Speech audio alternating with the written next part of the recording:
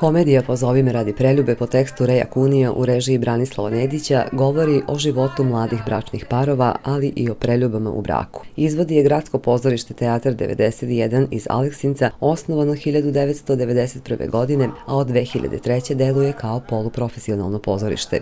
Teatar ima oko 50 svojih, svojih i glumaca i polaznika škole glume, s obzirom da imamo i školu glume pri Teatru 91, a inače zapošljenih glumaca nemamo zvanično, imamo glumce iz Kruševca i iz Niša, tako da su nam oni po ugovoru i eto malo smo prevazišli rang amaterizma.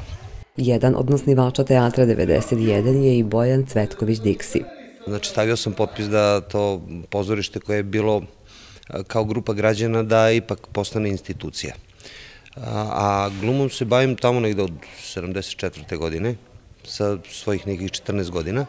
Teatar 91 sarađuje sa glumcima iz Kruševca i Niša, tako u ovoj predstavi igraju i dve profesionalne glumice. Jedna je Katarina Mitić-Pavlović i po njoj razlike između amaterskih i profesionalnih pozorišta i glumaca nema.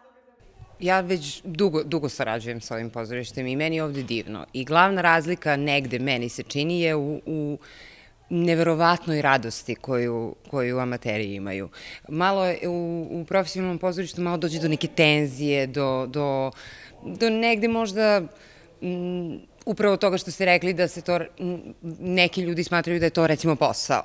Dok, dok je u amaterskom pozorištu divno jedno iskustvo zato što su svi mnogo veseli, uživaju u svakoj sekundi toga što radi i, meni je to najdivnija i jedina eto razlika koju bih iznala kao važno. Gradsko pozorište Teatr 91 iz Aleksinca je u Staroj Pazovi nastupilo u okviru Vojvođanske turneje.